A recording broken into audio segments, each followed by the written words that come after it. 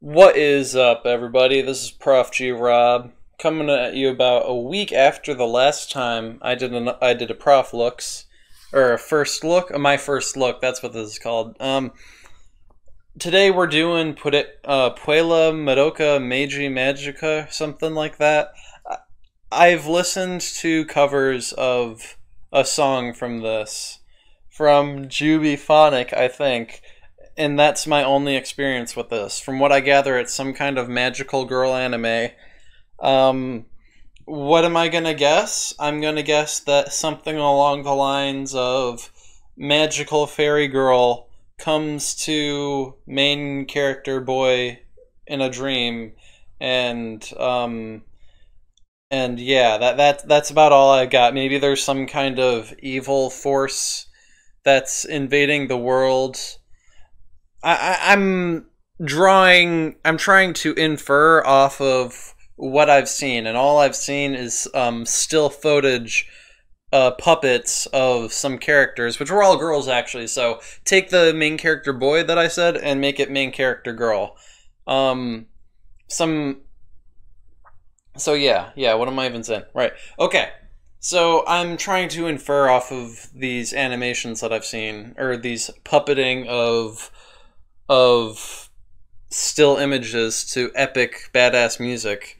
I'm guessing that some kind of evil force is coming in. I, other than that, I know next to nothing. The only thing I do know is that as I was clicking onto this video, I did see something comes to somebody in a dream. So that's going to be a thing. I'm going to go get some snacks, I'm going to watch for a bit, and I'll check in with you again next time I actually have something worth saying. All right, I am back with some chamomile tea, some rice, and some ramen. So I'm sure this is going to be a good time. We are going to hit go, and I'll see you in a few minutes. All right, uh, quick little check-in. I just saw the the opening scene, and then I watched the intro. Opening scene was strong. The music that was playing during it, the the crazy fucking bullshit that that's exactly the thing that I saw someone do a cover of. Again, I never remember the name of the artist who did these things. All of those anime song singers kind of blend into one in my head, but whoever did it, it sounded beautiful, and it did it justice to uh, how it was in the anime. Um, I- I'm love I'm loving what I'm seeing so far. I really loved the crazy imagery of the dream world. I'm gonna want to talk about this more in another video. I'm thinking, but whatever. I'll I'll see you in a few minutes again. Okay, fuck that line right there. and that's a little bit hypocritical of me to say, because I've made this exact jokes, this exact same joke in um, fan fictions of mine. I've had like the main character remark on how contrived and convenient something is, or say that he would never act in um, such a stupid or predictable way because that would be something reserved for characters in a fan fiction or whatever. But um, I don't know why, but seeing other people make similar meta jokes like that usually just pisses me off. I don't know what it is, but fuck that line right there. Otherwise, I'm loving this. Alright. Look, I can tell you at this point right now, how far in are we? Okay, we're near the end. I don't think I'm going to be able to say anything. I think this is an experience that I can't really sum for you. I, have I've not seen enough things like this to be able to put into words what kind of experience I'm watching, but I'm going to try in a few minutes when this is over. But don't expect the best out of me, alright? Alright, similar situation to last time. I just finished the show and I can suddenly feel sleepiness crawling into my bones, you know, that hollowness when you feel like you might start to pass out anytime soon. So I'm going to quickly uh, tell you give you a quick recap of what happened and what I thought about it. So, uh, Puella Madoka Mag Puella Magi Madoka Magica is how I think you pronounce it. So it starts out in this crazy Escher esque dream where you're running through a screwy world. Space time is all distorted and stuff. Perception's all wonky and everything. And this girl sees another girl, um, fighting what looks to be some kind of big tree, which is like the kind of antagonist I would write. I've written trees as antagonists before, so it's pretty weird. But um, so that's a thing. And then little ragdoll that that's yeah, it looks kind of like a ragdoll cat, honestly, with long bunny ears. But little ragdoll with red eyes is like, "Hey, you want to be a Sailor Moon? You want to be a sailor, Scout? I'll I'll pick any planet you want. You you can be a sailor." And so the girl's like, "Oh, okay." And then she wakes up and she doesn't fully remember the dream. And then she goes to the weirdest school I've ever seen. Let me let me describe it for you. In fact, I'm going to quickly go pull up a picture of it. Okay. Holy shit. Take a look at that. And excuse me for any sloppy editing that might happen. I have to walk all the way, like, around a little makeshift table that I've set up to eat my rice, ramen, and tea. Anyway, look at this building. Look at this school. What kind of school is this? You got glass cubicles, massive glass cubicles.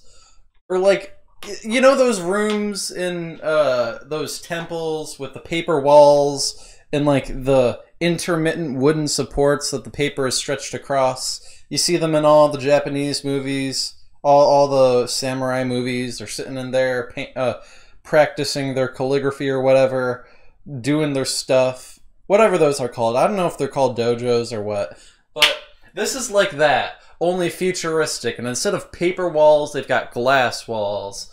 If this is a real school, what the fuck? What love? What?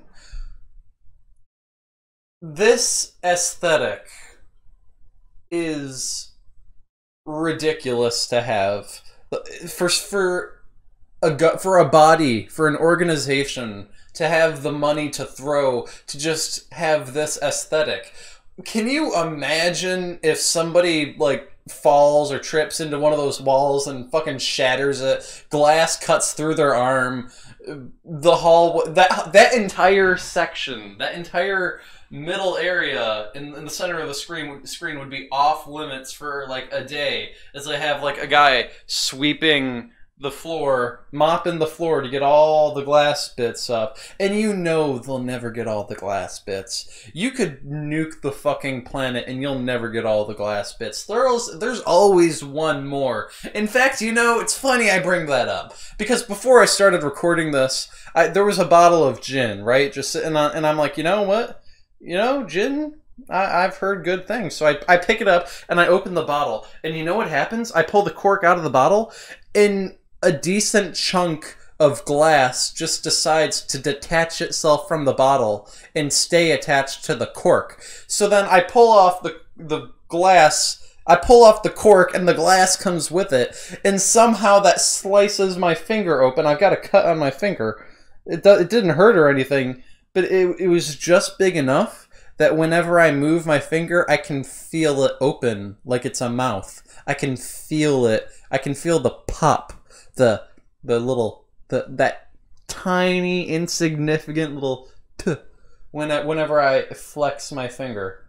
So yeah, you know that area. That what I'm saying is this is ridiculous. There's no way that this is just some ordinary school. And I've heard I heard it said that this was a middle school. So that's like what eighth grade to like sixth grade. I, the education system's probably million times different in Japan. I mean, these girls look relatively mature, but anyway, let, let, let's take a take a step back. So you have the dream sequence, and then the girl wakes up and she doesn't remember it. So then she starts talking to her mom. She like wakes her mom up, and they shower together or something. They brush their teeth together, whatever. And the the girl's talking about a friend and how a boy gave her a love letter or something. And the mom's like, ah, useless boys. If they can't confess their feelings in person, they're they aren't worth their dick. So that's a thing. The mom, some kind of super successful. Let me just take a sip of my tea. Hold on. Yeah, because it's starting to get it's starting to get warm instead of hot, and that's that's when I need to get it because that's a very short phase of time. It's only the perfect temperature for an instant. It's either too hot for me or it's lukewarm and I almost don't even want it anymore. God forbid it gets cold though. I, in fact, I'm going to take another sip. Ah, chamomile. I've only tried this recently, but uh, it's pretty good. I like it. Uh, anyway, right, right. So, Mom, mom is super successful businesswoman, owns the world. She's probably a big deal somewhere else. Who knows? I'll, we'll, I'll find that out as I go on. Um, the father, you know, I we we only saw a little bit of the father, but from looking at him, I get the vibe that maybe he's like a stay-at-home dad. Like the mom is really successful and hardworking and bringing in the books. So I, I saw him gardening. He was like grooming a tree or plucking some fruit. I vaguely remember. So I imagine he was like the stay-at-home dad, taking care of the daughters and the son. I think it was a daughter and a son. She's got a little brother. We we only saw him being a little kid, and he wasn't so bad. So I don't remember him. I, I only remember a child if they're annoying as hell. That's most children. Um, anyway, so after that, we carry on into step three of the story here, and it's the girl, main girl, Madoka is her name, turns out. Her name is Madoka. So Madoka is walking to school with her two friends whose names I did not catch. One of them is a prim and proper, um, popular, pretty girl or something, and the other is some kind of lesbian or something. I, I saw that she she was calling Madoka a naughty girl and like tackling and hugging her from behind. So maybe there's going to be some Yuri tension there. Um, what what else? What else? So they talk about that, and then they go on into the school, and it's a normal day. Apparently, the teacher has some kind of bullshit going on with her ex or something. They broke up because he didn't like the way she cooks her eggs. I don't know, man. That I'm sure is going to be a running joke. Anyway, then comes in the girl from the dream, and pink hair Madoka is like, "Hey, um, this girl looks kind of familiar." And and here's where I learned something about Madoka. Something that usually turns me off of any character. She is very um what's the word? Uh, here here's how I would describe it. If you look her in the eye, she'll look away. She doesn't want to pick a fight. She, she'll she'll cower before someone who tries to intimidate her. She's not strong-willed, which usually turns me off of a person. I'm I, I respect strength and Madoka doesn't look like she has it yet. So Madoka is cowering before this pretty girl who is apparently the new exchange student. And she walks in and they glare at each other. And then all the new class, all the classes crowding around the new girl, like, "Hey, your hair is so pretty. What conditioner do you use?" Blah blah blah. And a new girl is like, "Yo, Madoka, be my bitch and walk with me to the nurse." Because Madoka is the nurse's assistant or something. And that's just an excuse to get her alone. And then New Girl, whose name I did not catch now that I think about it. They said it, they made a big deal about it, but I just didn't care. Um, I wanted to call her Nemu for some reason. The fucking girl from Euphoria. Anyway, um, right, she's like, basically, long story short, the moment they're alone in a corridor, New Girl says to Madoka, look, if you value your life or anything in it, don't fuck with me. That's what she says. So it looks like New Girl is some kind of Shadow the Hedgehog to Madoka's Sonic right now. Like, Madoka is not a big deal. In fact, if anything, I was under the impression that Madoka enlisted to be a magical girl for the purpose of helping New Girl. That that's the vibe I got. But I- I'll find out more as I go. So Madoka's like, "Oh, okay," and then, and then we cut to a scene where Madoka is telling her friends at like a restaurant about this, and their friend, her friends are like, "Wow, what a weird fag! Ah, she's she she she should fuck herself," and so they're like that, right? So that happens, yada yada yada, and then Madoka goes with one of her friends, the lesbian, I think, to um to a music place to check out music to get for a friend of theirs or something. Um, and Madoka's listening to music and she hears the rag doll calling out to her in her mind, right? She's like, oh, wait, is that in the background of my music? And she takes the headphones off and she can still hear it. and the ragdoll is like luring her to some section of the building. And she goes to that section of the building, and then the ragdoll falls out of the vent, right? So Ragdoll falls out of the vent. Madoka picks up Ragdoll, and she's like, Is that you? Are you the one talking to me in my head? She doesn't remember it yet. And then out of the vent comes a bunch of chains, followed by uh, New Girl. New Girl was crawling through the vent, and she's in some kind of outfit. Kind I, I hesitate to say like a Yorha unit. Honestly, it looks nothing like that, but that's the way that I want to describe it, because that's it, the color scheme. The color scheme. It was like a Yorha, only uh, similar to the Eliminator outfit. Only instead of black being the primary color, white is the primary color, and black is a complementary color on it. So she comes out in this outfit, and she's like, "Yo, get away from that thing." And Madoka's like, "No, don't be a bitch." And so they have a stare, a standoff for a minute. Or when I say standoff, I more mean um, Madoka is sitting on the ground, co- uh, letting Ragdoll sit in her lap for a minute, and the girl with chains is contemplating how she wants to strangle Madoka. And that goes on for like a good five seconds. And then, oh god, what did this girl even look like? Hold on, I'm gonna move through the video to find the girl. Okay, take a good look at this scene for a minute. We're coming up next. So, um, the lesbian I think that's who it was. Sorry I'm calling her the lesbian. That's just the only defining character trait in my head for her right now. Anyway, she uh, happened to see Madoka wandering off into this abandoned section of the building, and she followed her. She sees uh, Whips and Chain Girl, the new girl. She sees her about to beat the shit out of her friend, so she takes a fire extinguisher and bashes her in the back of the head. Not really, that's not really what happens. She just sprays her with the fire extinguisher, it like catches her off guard, and then she whips the fire extinguisher at her. Not even exaggerating that one. So, then she grabs Madoka and they start running. And then this shit happens. It's like fucking the world itself took some LSD and now weird shit's going on. I don't fully understand. It's like it's like some kind of this is some kind of corruption in the world. That's the vibe I got. Actually, actually, now that I think about it, I just picked up on some subtext. I, I, I just picked up on a line that was dropped, and now I fit it together. So, I, I will explain right now. From what I've gathered, I think there's a witch, right? Some kind of witch. And the witch is conjuring this weirdness the witch is making people go insane, or maybe they're attacking their minds. Maybe this is some kind of artistic representation of some kind of psychic attack on these girls.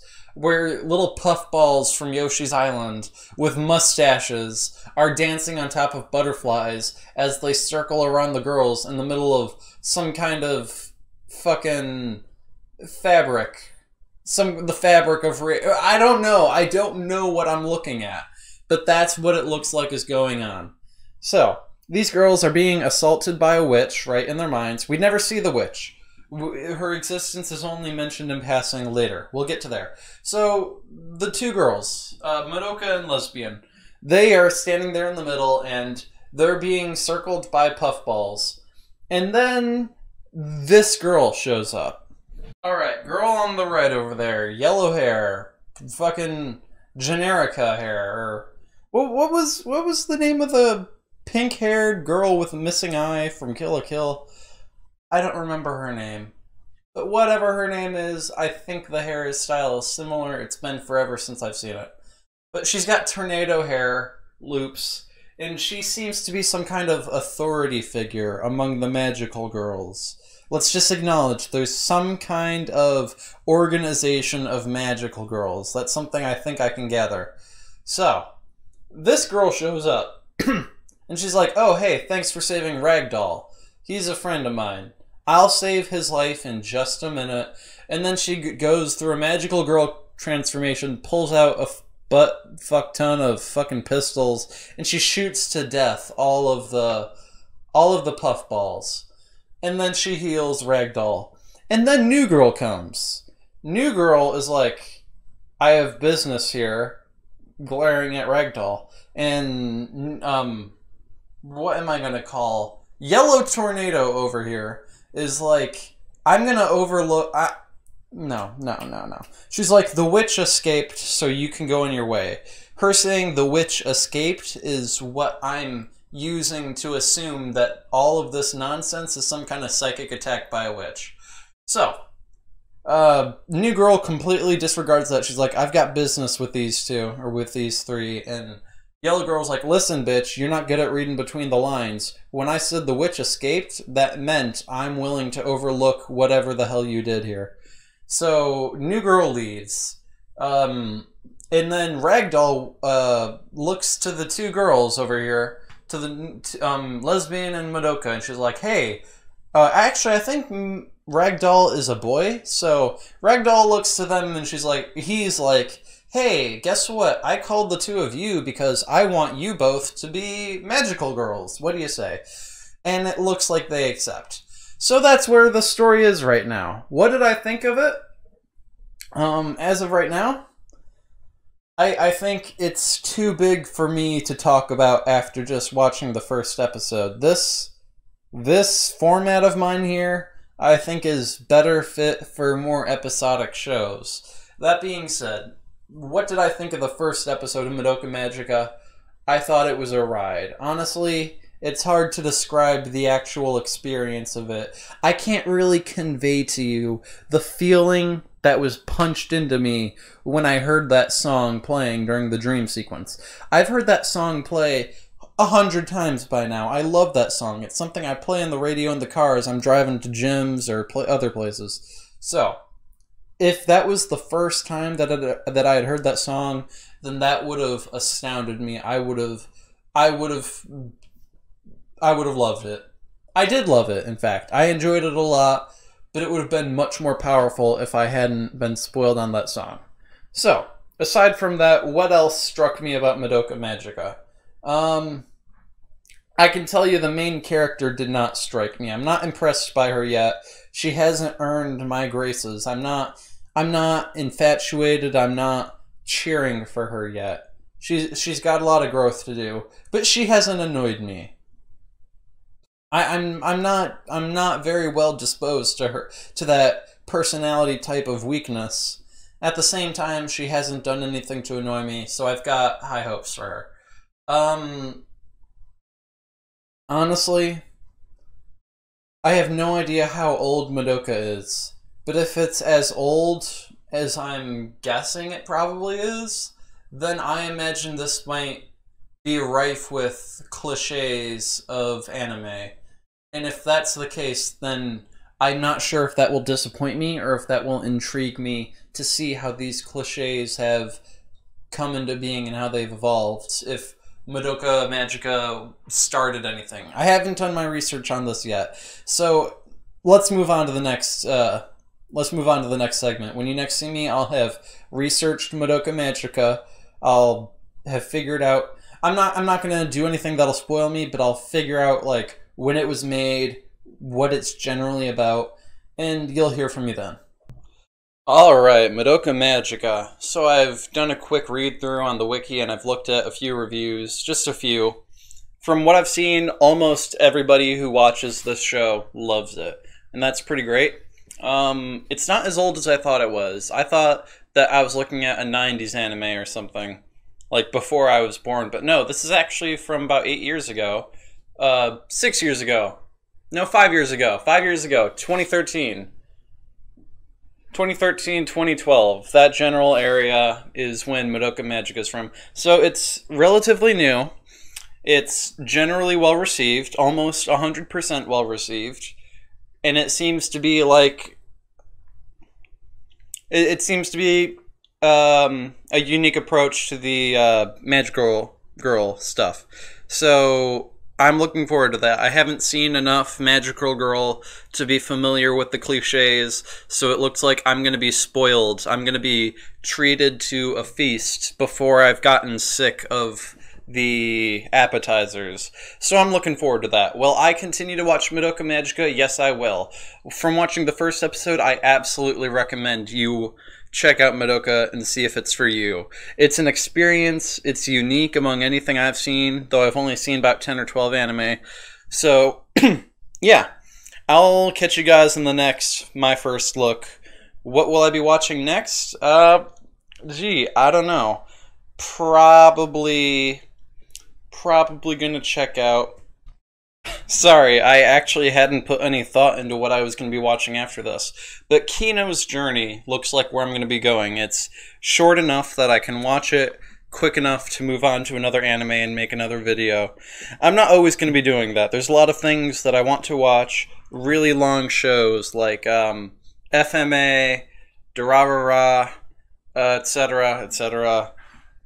So there are going to be periods of time when I'm going to go a long time without making a video like this.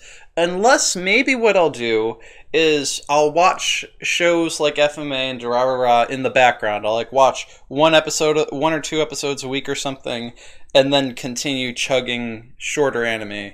I, I want to be able to put this out frequently enough that you can subscribe to me with the intent to watch only videos like this. With that said, I'll see you guys next time. Bye.